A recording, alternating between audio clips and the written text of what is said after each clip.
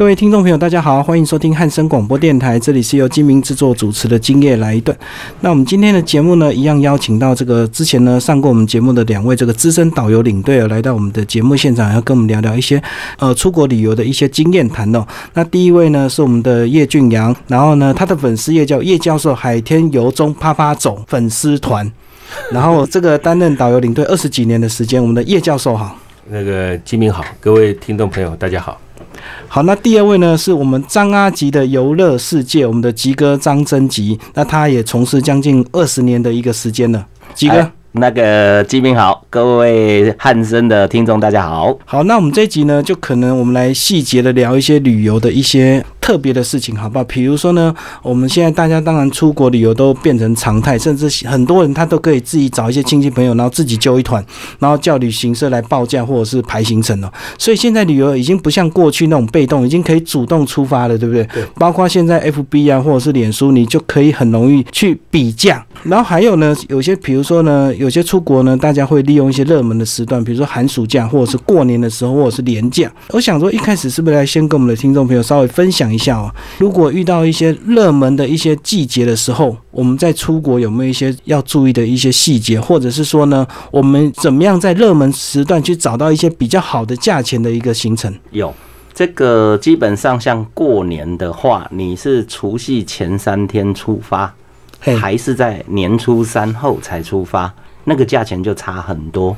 那当然有一些上班族被假期绑死了，那个就很难说。可是有现在因为可以。技术性调整的公司也蛮多的，就是大家同时换一下班，稍微前后挪动的话，其实你不要卡在除夕当天出发，除夕前一天出发的价钱，可能就可以少掉十分之一，或者甚至于还更多。当然，这个就要看情情况。所以就是说，你在国外如果跨到除夕的话，价钱会便宜一点点。哎，因为大家都想要除夕完才出国，是不是？就是正规的最贵的时间是除夕当天出发，跟除夕前一天出发，哦，这个是最贵的。那你如果再提早一天，再提早两天，因为是淡季啊，那一天的飞机就没人坐，哦，所以光机票的这个消化的空间来说的话，就有价差存在。好，那挑对时间之外，那再来这个地点呢？有没有一些过年出国，然后有些地点是比较优惠的这样子？呃，当然。就是容易被大雪封路的地方，价格相当优惠，就是逆向操作就对。对，那你本身就是去一些天气在当时相对非常棒的地方，它的单价就是一定高。所以你的意思，比如说日本北海道。过年出国就比较便宜，对，今年特别是这样，长荣都飞不回来，还可以这样子莫名其妙多待几天，而且长荣还会包好几千块甚至于上万块的红包给你，所以是意外的惊喜。没错，没错，就不会把你拖下飞机了。好，那可是有些人他出国一定要配合小朋友，就寒暑假，那寒暑假真的就会比较贵吗？会一定，但是寒暑假有一些像大，如果孩子已经是大专的话，其实他在六月中就已经放假了。好，啊，你六月中先出门，不要等到真正七月一号或六月底，那时候就整个都贵了。可是寒暑假有一个 key point 也是便宜的地方，比如说八月二十五，因为大部分要开学了啊，相对应那时候人也少，那时候的机票也比较会有那个溢价空间。啊，所以说有的时候你光一个寒暑假来说，六月十号到十五号这附近出发的团体就可能会有，而不见得会有，是因为如果你又一窝蜂都往这个地方挤，它供不应求，反而又贵了。所以有的时候假后摸到修补哦，就是自己去，还还点点 mark，对，就是暑假前跟这个暑假快要结束。对，没错，价钱就会有影响，就价钱一定有影响。嗯嗯嗯，然后呃，有时候是我们这边不是节日，但是大陆那边是节日，或者是欧美有特殊节日，那价钱也会不一样。对，而且特别要小心，这个就是做功课的问题。还有就是我们旅行社的业务都会善意提醒客人要避开，啊，那时候要听进去哦，因为不可能旅行社不知道。旅行社是一定知道的啊，也会跟客人讲，这个牵扯到上一集有讲到，客人的耳朵不能半开半合，选自己要听的。好，所以说在听旅行社介绍方面的话，也尽可能把话听完整。好像大陆的五一劳动节前三后七，十一大假前三后七，哦，那十天去就是看人头，什么都不用看。嗯嗯嗯对嗯，，所以一定要避开这个两大热门时段就对了。没错。可是我觉得很好奇，那为什么旅行社这时间还要出团？那他就避掉就好了。呃，没办法，嗯因为我们签约的时候，我们机票还有那个所有的协力厂商，我们是签时段的哦，比如说是三四五三个月，或者甚至半年期。嗯。那你每一个月都会分配消化的量，哦这个是平均值，而不是说我我就是呃这这时候我就不都不要用，不行的。哦哦哦，那我们的叶教授，你对这个假期这个选择，还有一些我们怎么样一些比较巧妙的去选择一个适当的行程，有没有什么想法？其实啊，我我很中肯的选择啊，那个大家在家里面看 Discovery 就好了。啊，什么地方也不要去。在家看电视。对对对，我觉得这样比较好。当然这是玩笑话啊，但是呃，多年来的经验呢、早期的时候我们出国是非常方便的。那你说寒暑假出国，基本上也是一件很快乐的事情。但是现在有个趋势啊，是大家都必须要去正视它，去重视它，就是陆客的对外的观光旅游。嗯嗯，现在陆客已经跟蚂蚁一样，全世界到处跑啊。对，全世界听好是全世界到处跑。他现在已经基本上，他不管你什么寒假、暑假、什么春假、什么五一什么东西的，他基本上他陆客已经是遍布全球。他去哪边玩，我们去哪边玩，基本上早期我们出国玩的时候，你要碰到一个大陆人还真难。现在你随便拿个石头丢过去啊，十个人大概八个是大陆人。嗯，像我家就住在西门町旁边，陆客来台最风光的时候，我们在西门町啪一排，根本听不到台湾国语啊，听得到各省的乡音呐、是，是这个样子。那你现在呃，因为政局的关系，那陆客已经减少嗯。三呃大概大概八成不来，八成不来，那个其他他转移到其他的地方，你像韩国的那个萨德那个布置的飞弹，他们也不去，对，没错。那现在都往其他地方去跑。那所以说呢，我的觉得啊，我的觉得，各位你要什么时候出去，其实随时都可以走，你只要安排你的假期，你安排好了。其实讲严格一点的、啊，像吉哥刚刚讲的，避开五一啦、十一啦、嗯春节啦，什么东西的，避开那是我们应该有的尝试，那是。本来就应该有的尝试，但是你今天如果说因为现在的假期，而且不再属于那种从大团体，像很多那种两人成行、四人成行、六人成行那种所谓的 mini tour 或是 city tour，那像那种你随时都可以走，简简单单你弄好就可以走了，是这个样子。那你不必，我建议各位听众，就你不必局限于那种一定要参加团体，你参加那种半自由行的。嗯，现在人家网络发达，是，对不对？一个地图，那 Google Map 那个一一个地图，你自己玩的很开心。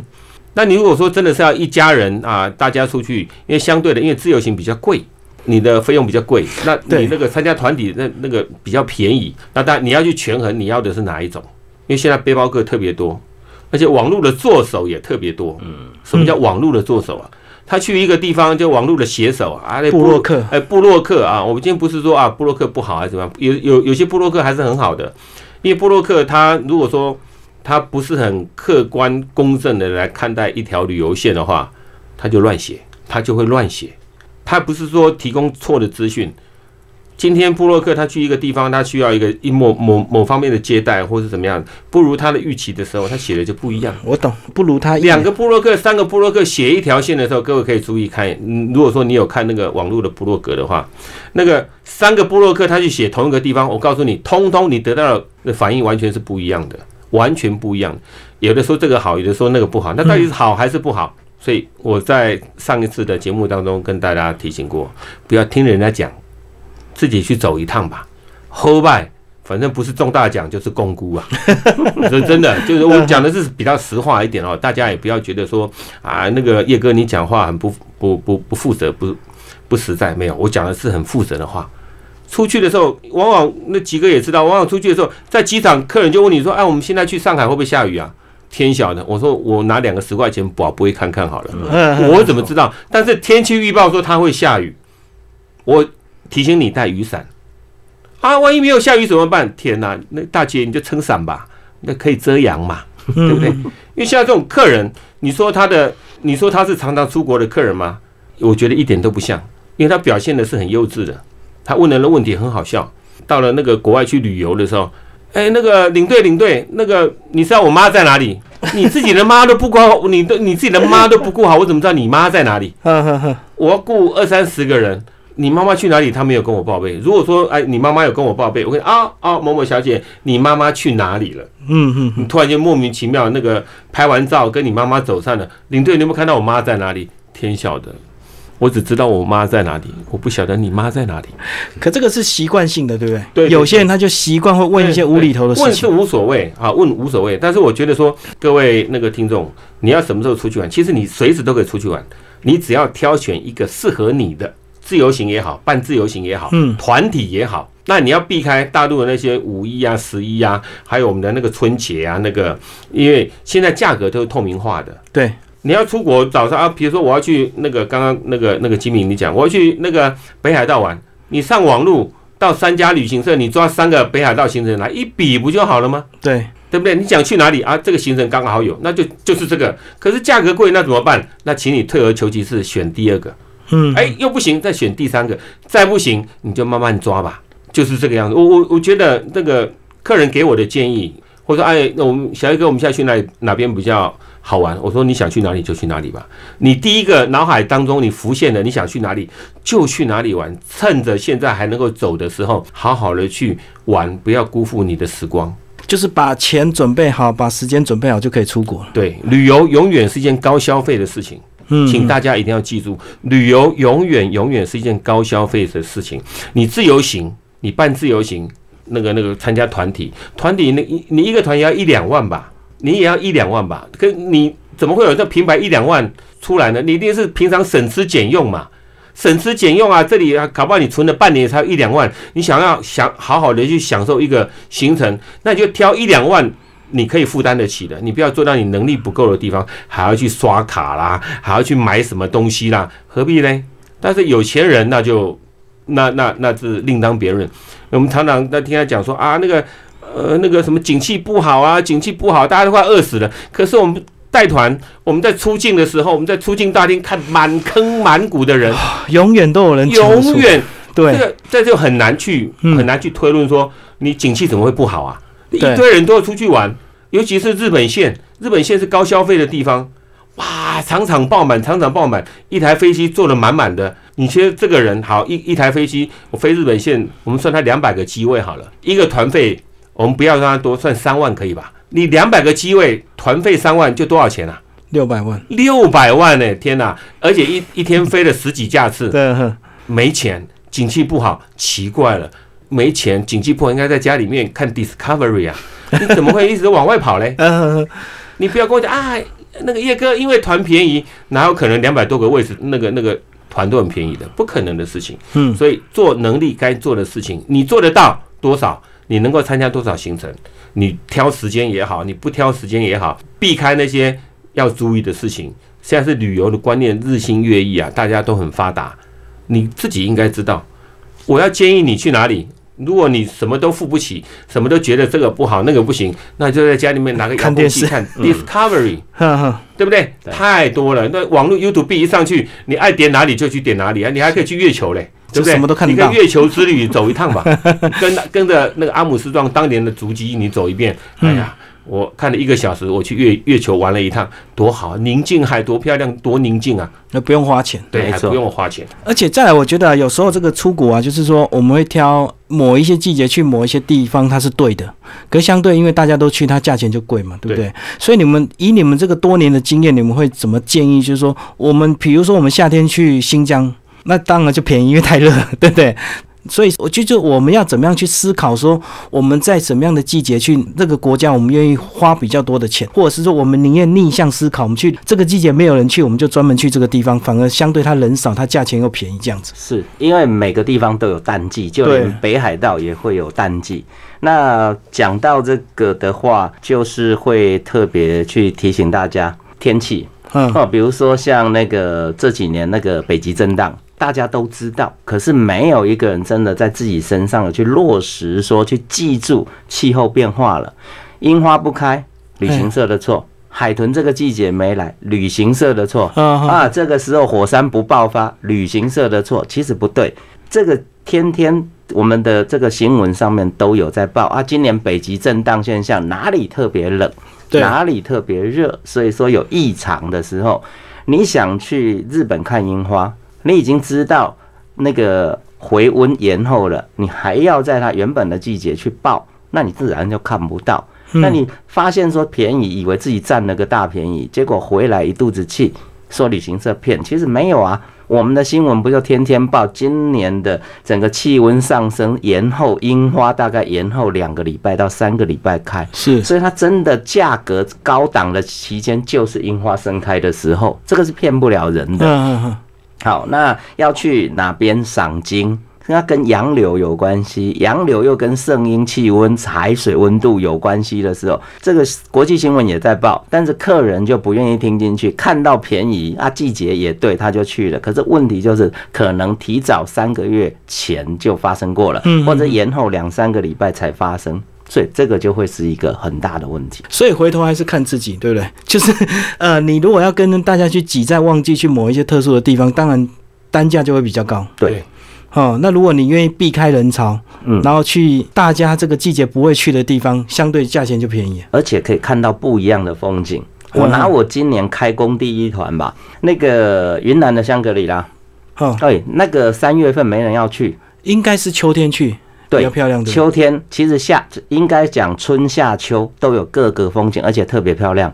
那为什么三月没人去？第一个大雪，大雪哦可能会封路；第二个就是那个人少，那时候刚过完年，大家手头上也比较没钱，然后飞机开的班次也少的时候，他当地刚好才清完道路，才刚开始路要通。可是今年带去的时候，连着八天那个雪下的刚刚好，我那一组客人就非常开心，因为去看到是有仿佛是到了那个阿尔卑斯山的感觉。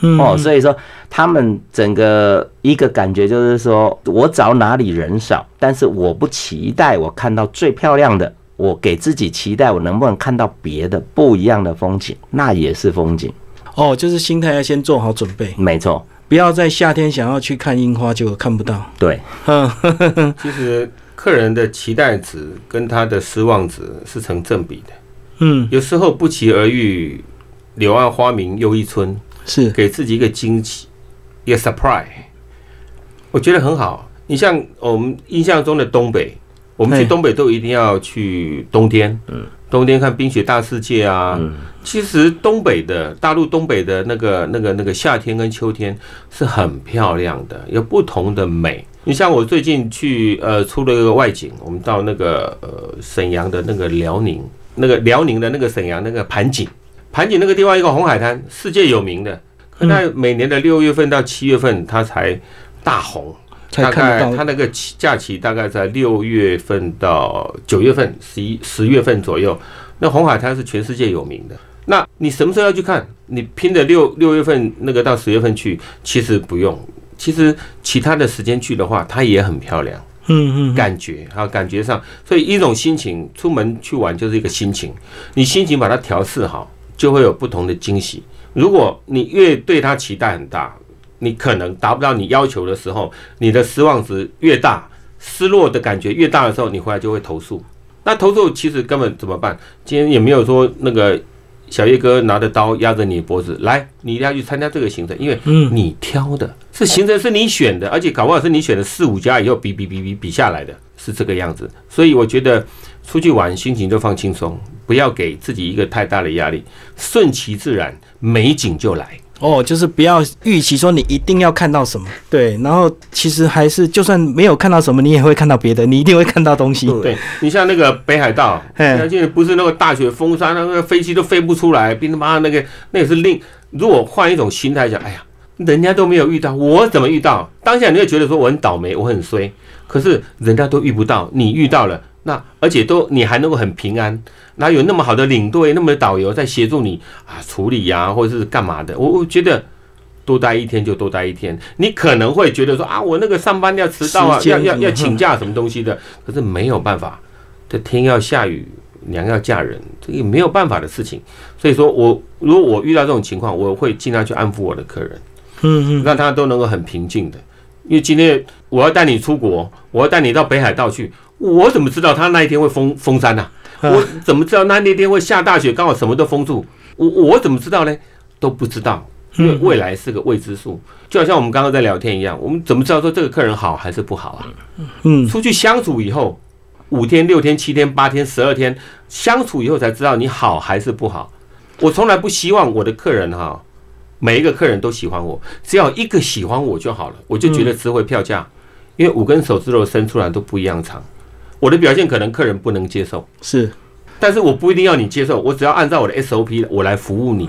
但是有一个，只要有一个，如果说你这个团都搞到说大家都不喜欢你，天怒人怨的，那你这个行业要退出了。我们刚刚讲到这个出国就会有期待，说因为你到哪里，你可能是为了看枫叶，或者是为了吃什么秋天的大闸蟹，你到某一个地方，那但是你可能会失望落空啊。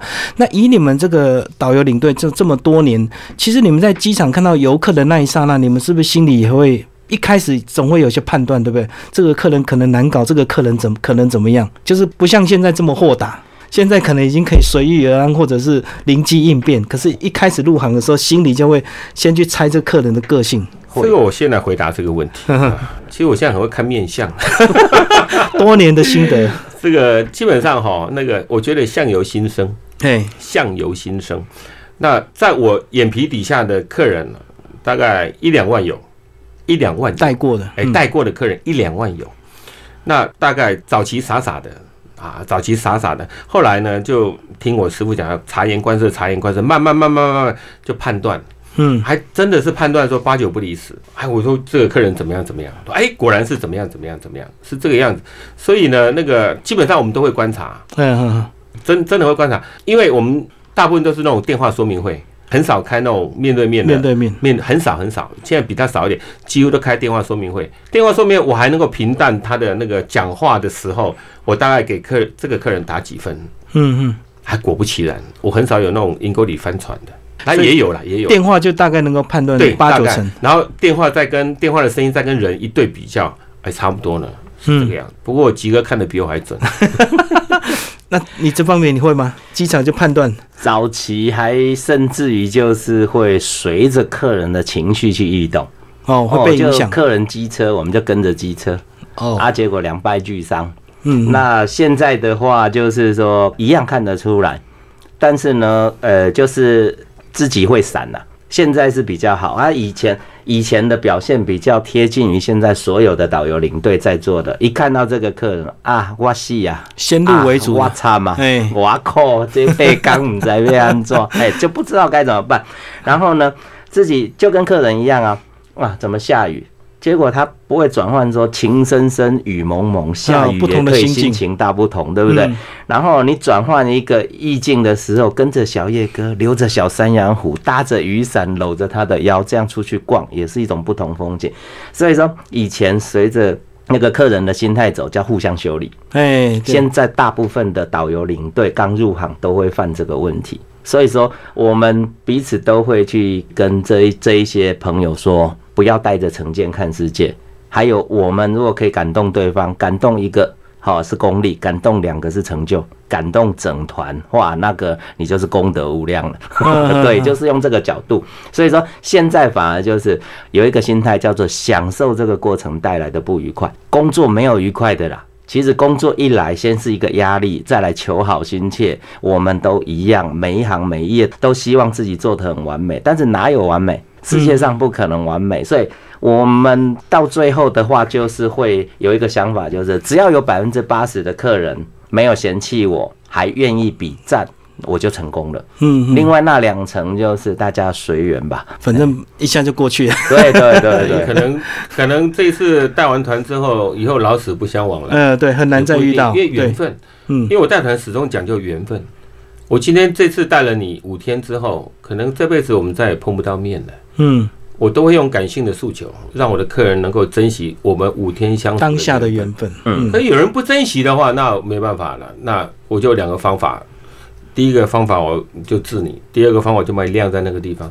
冷冻就对，就就冷冻，但是我该有的服务还是要，我们不能说冷冻啊，我不理你啊，怎么样？回来他要投诉你说那个领队不理我，那是不对的。那所以说呢，我觉得缘分啊，人生在世啊，这个七八十年，你真正能够出国，真正能够出国的时间真的是不多。对啊，没错，有的嗯辛苦一辈子，这个年轻的时候为家庭奋斗，然后再来的时候是生小孩、带小孩，哎，这个小孩成家立业，你还要帮他带孙子，这什么道理呀、嗯嗯，对不对？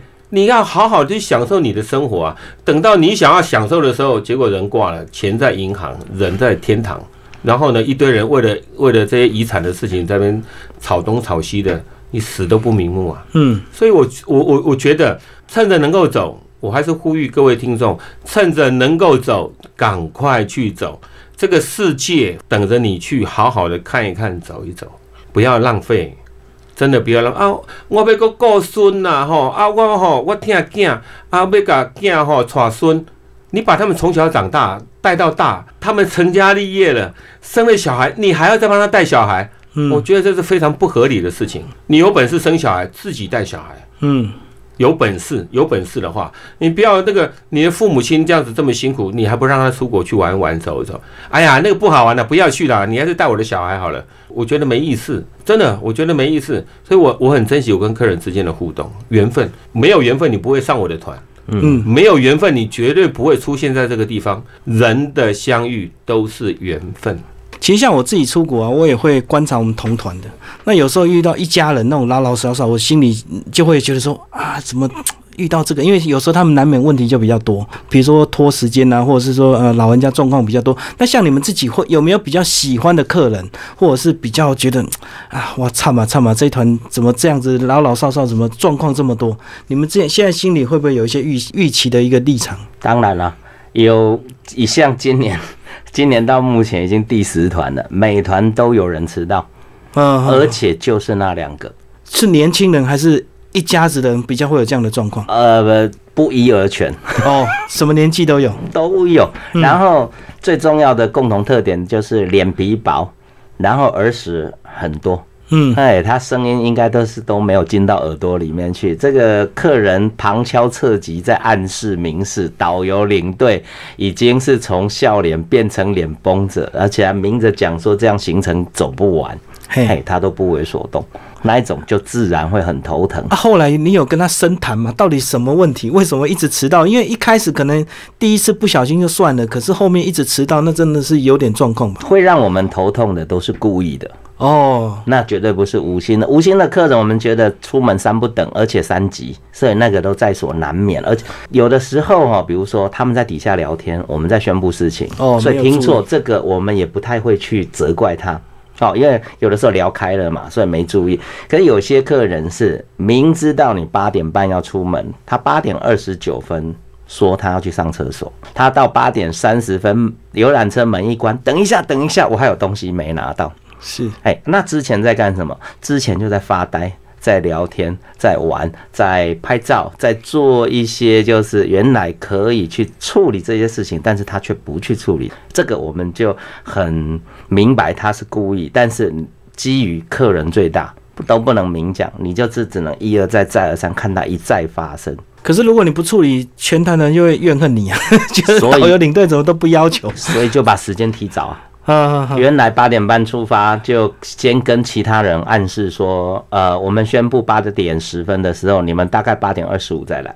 然后哦，因为其他人都很乖，我们不能惩罚准时的人嗯嗯，啊。那一个人八点十分一到，一看到大家也都在附近活动，他就又开始来玩他那一套。然后我们其实也是磨出了一个 有一个暗修理的方式的啊。这种人不能跟他硬碰硬。嗯因为他脸皮超厚，千错万错别人的错。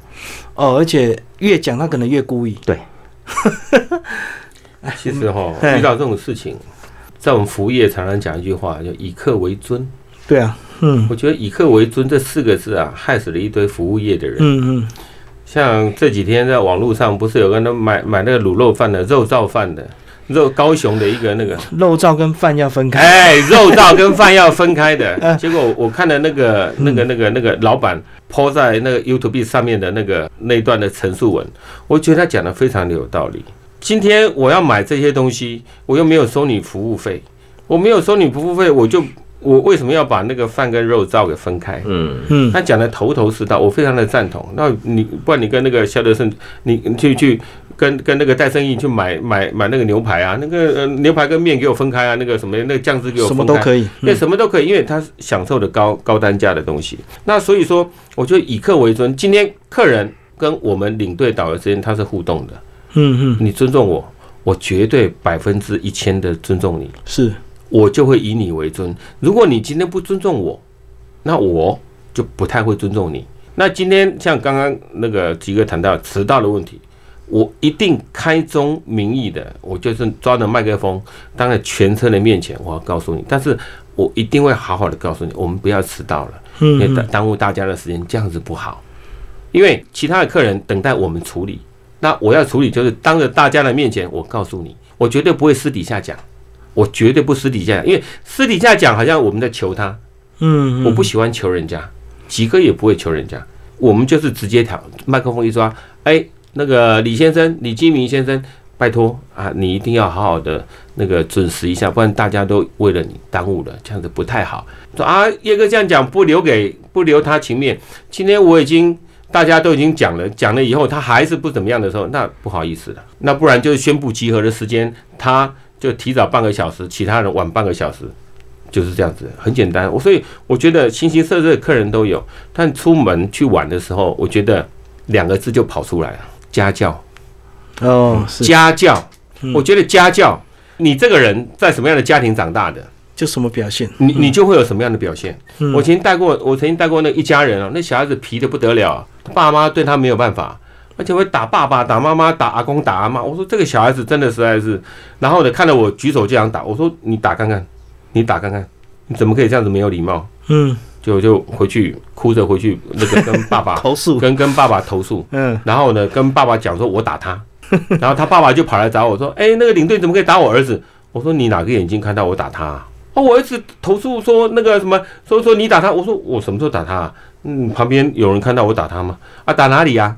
打哪里呀、嗯那小时候打手打手，我、手在哪里？我看一下吧。那所以说，你看我心里面就会很很纠结。那今天你先是个成年人，你还迟到，那你是不是上班也迟到？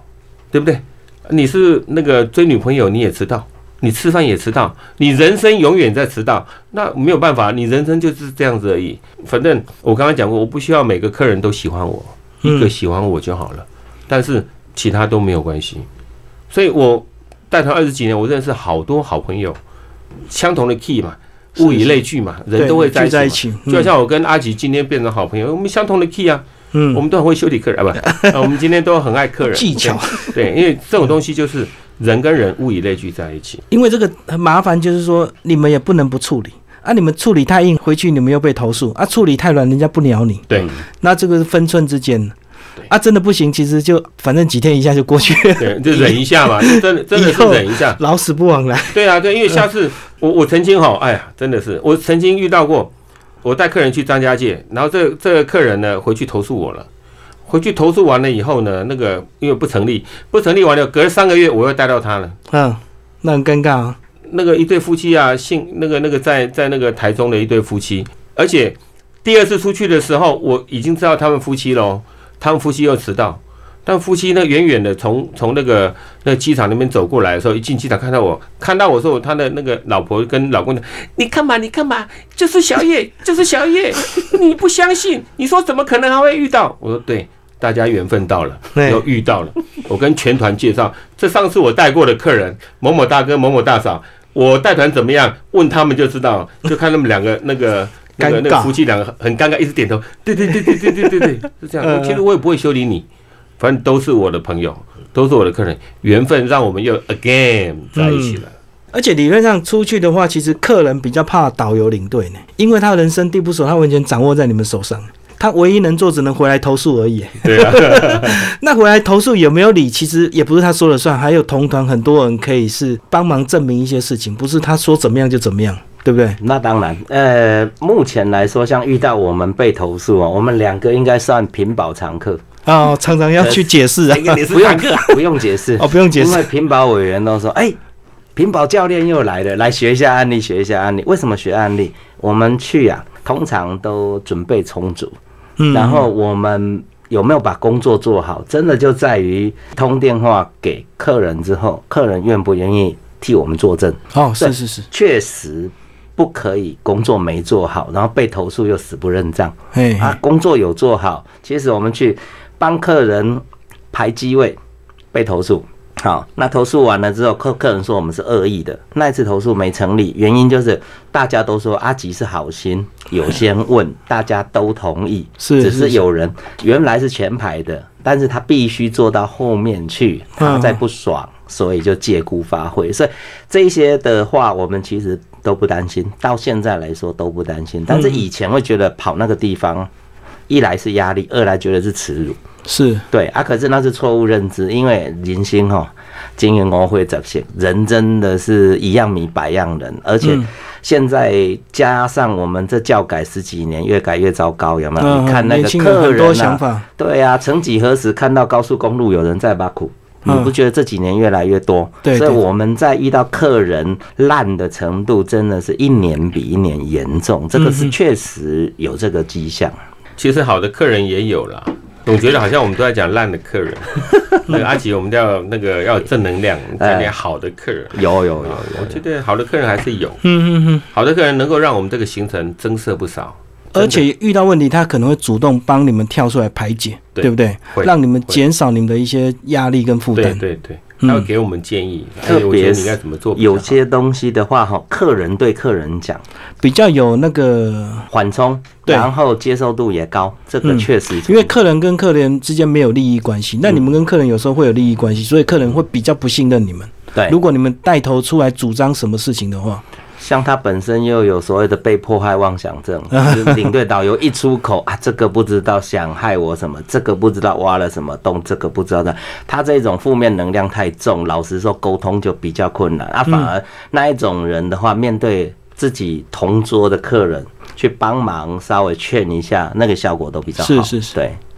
好，那刚刚我们提到这个对客人的一些方式，那因为现在导游领队相对其实从业人口也越来越多嘛，吼，那大家就越来越容易比较，所以一些做到一些基本的服务都已经是很基本了，就是好像大家都应该做到一个基本对客人的一个呃服务这样子。那我觉得你们自己慢慢这几年这么多年这样子，有没有自己去找出一条你们跟人家不一样的地方，也就是你们的差异化，或者是你跟别人导游领队不一样的地方在哪里？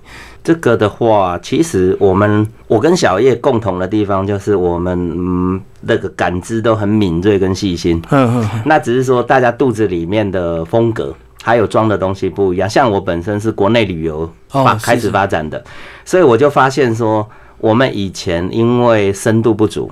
然后景点也没有那么详细，所以说其实口条介绍上面是属于要累积型的时候，我们就会带像是那个造型气球啦，或者彩绘笔呀、啊，然后送小朋友礼物啊啊，然后帮那个长辈准备湿纸巾啊，准备那个热毛巾啊什么的，用这种比较广泛的服务来让客人安心我们都有嗯去照顾到他。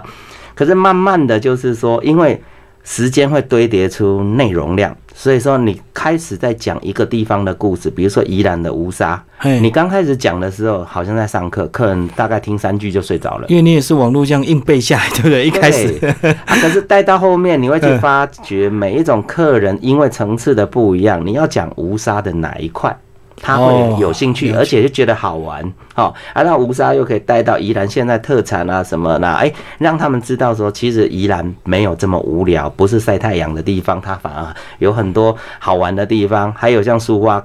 现在不是崩了吗？对花莲真的过不去吗？其实不会，花莲还是有很多方式可以去那边玩。那花莲真的只有这么好玩吗？只有你眼前看到吗？也不是。所以说这些东西，我就会跟那个想要入行的人说，有一些东西是时间堆叠起来的。可是，在堆叠的这段过程里面，我们自己用什么东西去弥补了不足的这一块？嗯，其实有很多方式，有很多方式。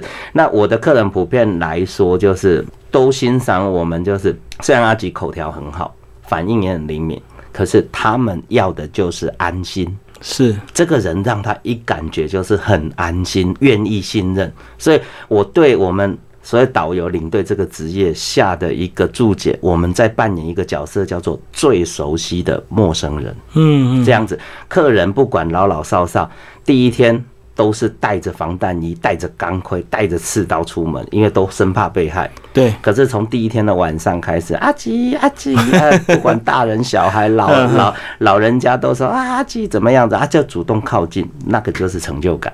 这个就是我们在服务这一块最有的时候就是都不用讲什么，但是你心里就哇好爽。因为有些导游领队他会塑造他一些，比如说他对文史这块很了解，或者是有些他会拍单眼，他就很爱帮客人拍照，然后给客人一些意外的惊喜，这样子偷偷摸摸帮你拍了很多照片。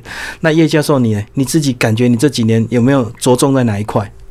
其实我我带团哈，从一出道到现在，我几乎用我的专业。所谓专业，就是我刚刚讲的，客人是需要被教育的，所以他们就叫我叶教授啊。因为我我带团就在上课一样哈。啊，因为我自己本身又是那个退伍军人，那个狱官的，那所以说那个我会比较倾向于跟我的客人讲道理。嗯嗯，我都跟你讲道理。那我会告诉你这条线要注意什么事情，或是尔后你们要出去玩的时候，是你要注意什么事情。就好像综合我们刚刚我们刚刚在聊天的那些东西，都是我跟客人讲的素材。那你要选什么样的行程？你要花什么样的钱？那你出门要注意什么事情？那你可能飞机航班取消了，你不要去抗议，那个领队会处理。那你要怎么样的稍安勿躁？我会着重这一块。哦，你算是一个比较理性的这个导游领队。我我会告诉他，我会告诉他，以后你们出国的时候要注意什么事情。嗯，航班取消了，你们权益在哪里？还有你们不要什么在霸机，不要抗议，不要什么东西，因为这些都是我们出国的人他所欠缺的，领队导游不教的。嗯，那我为什么知道这些？因为我会去注意，我会去收集这方面的资料跟资讯。出国的时候，我都会告诉你什么事情要注意，什么事情你不要犯，你才会有一个很很愉快的那个旅游行程。他遇到什么样状况的时候，或是我在跟我的团员聊天的时候，哎，最近发生旅游什么事情？啊，复兴航空为什么摔了？它为什么又会什么什么什么什么样的状况？那你们以后要注意什么样的权益？我会朝这方面去讲，所以说他们一般业界都叫叶教授，叶教授那个会叫的野兽，但是我我是比较感性一点哈，那我都会跟客人讲，那比如说出国的时候，当我的导游他讲的不够专业的时候，我就会讲我的导游没有讲过的东西，嗯，我会去丰富这个行程，所以我跟阿吉都不是不是一般的领队，所谓不是一般的领队，就是我们会抓麦克风，我们会抓麦克风。有些听众，你可能出国的时候，你发现你的领队一上车就坐在他的位置上，四五天不跟你打招呼，直到最后一天他跟你收小费的时候，他跟你打招呼了。有，我觉得这种领队嗯是最糟糕的、最不好的、最不入流的。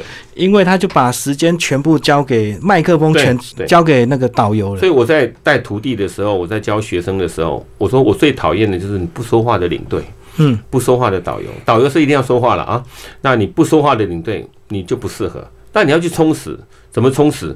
领队，你听导游在讲的时候做笔记，哦，不是划手机啊。呃，要做笔记啊，你要做笔记啊。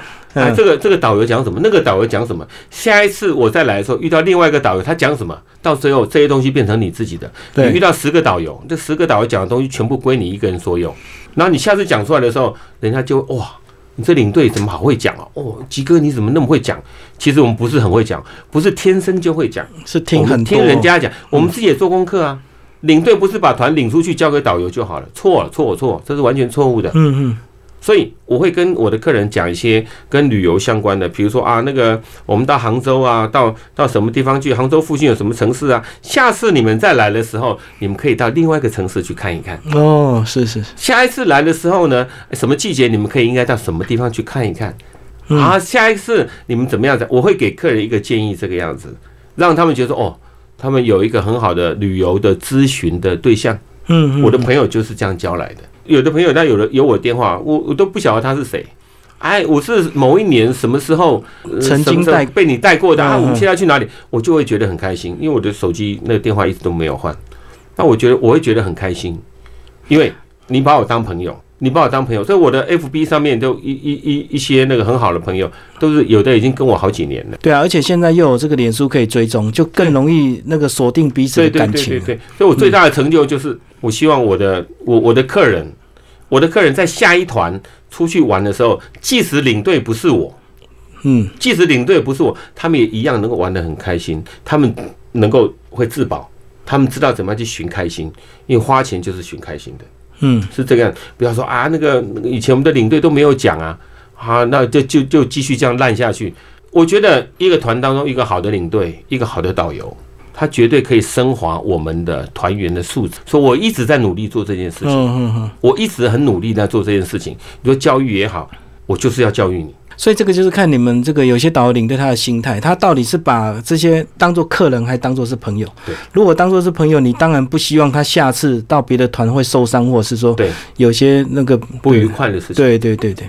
啊，如果是当客人的话，就这几天照顾好就好了，不用管那么多啊。后面的团是别人事、啊。有有的很多领队导游就说五五天哦啊，上班我们可以看到脸书，上班下班上班下班。我说你得到什么了？嗯嗯，你只是个赚钱的工具而已。嗯，你要赚钱，那你就不要出事情，你就不要出事情。你要交朋友，有人啊，没没关系啦，反正其实我我跟我跟各位听众讲，一个领队，一个导游，他是整个旅行社的产物链当中的最后的四分之一的那个执行的人，前面的四分之三广告、行销、业务，嘣嘣嘣嘣嘣占完了以后，四分之一交给领队导游带出去的时候，其实成败。这个行程的成败就在领队导游身上最重要。这个行程真的好的不得了，结果被被被领队跟导游搞砸了。你花了钱去打水漂不打紧，还受了一肚子气回来，还什么五星级的酒店，还什么五星级的规格招待，屁什么都不是。嗯，我觉得很冤枉。客人的心态需要调整。你爱比价，你就好好的比，比完之后就请你很认份的跟着这个行程走，不要再去外面。哎呀，这个不好，那个不好。